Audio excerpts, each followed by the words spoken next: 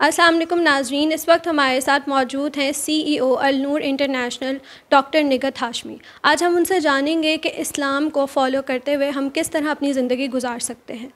अस्सलाम वालेकुम वालेकुम अस्सलाम वरहमतुल्लाहि वबरकातुहू। बहुत अच्छा सवाल किया आपने।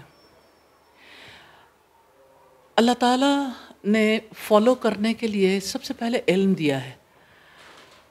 अपनी किताब का, मोहम्मद रसुल्ला वसम की सुन्नत का तो हम इसका इल्म हासिल करने के साथ इस पर अमल कर सकते हैं। अभी जो करंट हुकूमत ने फ़ैसला किया तमाम स्कूल्स और कॉलेजेस और यूनिवर्सिटीज़ में कुरान मजीद की तालीम को लाजमी करने का, इससे हमें बड़ी होप है इन ताला, कि कम अज़ कम हमारी नस्ल अपनी किताब को जानेगी तो सही, लेकिन अभी इसके ऊपर बहुत आगे जाने की ज़रूरत है, इसलिए कि ये इल्हामी इल्म है और हमारी ज़िंदगी के बारे में।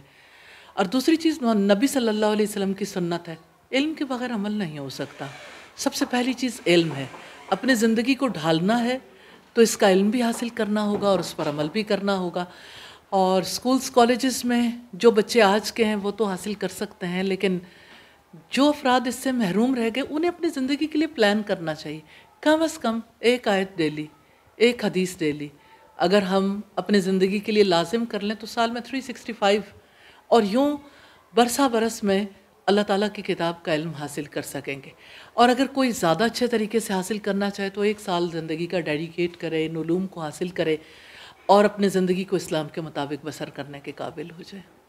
चूँकि मैम आजकल सोशल मीडिया का दौर चल रहा है और इसमें जो हमारी नौजवान नस्ल है वो इस चीज़ में बहुत ज़्यादा इंगेज हो गई है। तो कैसे वो अपने आप को इन चीज़ों से दूर रख के इस्लामी तालीमत की तरफ़ आगे बढ़ सकते हैं? असल में सोशल मीडिया से दूर तो आप नहीं रख सकते।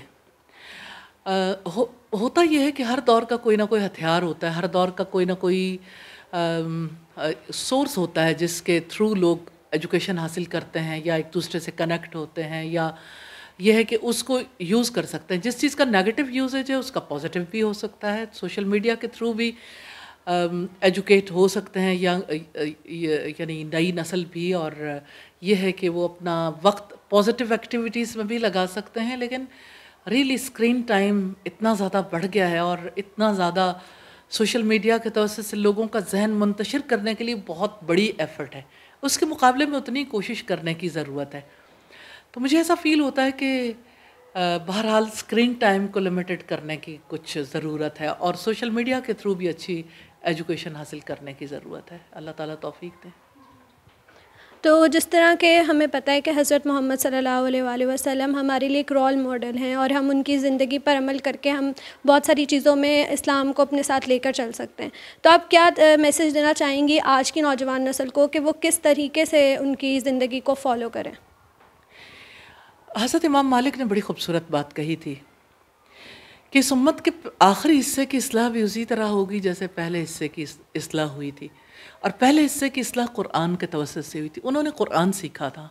उन्होंने कुरान जाना, समझा, उस पर अमल किया, अपने नबी के पीछे चले। आज भी यही तरीका कार है। फॉलो मोहम्मद सल्लल्लाहु अलैहि वसल्लम। नबी सल्लल्लाहु अलैहि वसल्लम को फॉलो करेंगे तो इन शाह ताला की मेहरबानी होगी। जी तो जैसे कि आपने इनकी गुफ्तु सुनी कि हम लोग हज़रत मोहम्मद सल्लल्लाहु अलैहि वसल्लम की ज़िंदगी पर अगर एक नज़र दौड़ाएँ और उनके नक्श कदम पर चलें तो हम अपनी ज़िंदगी में बहुत कामयाब हो सकते हैं। इसी के साथ अपनी मेज़बान जुलनूर नदीम को दीजिए इजाज़त। इन अगली मुलाकात होगी आपसे। अल्लाह ने के बान।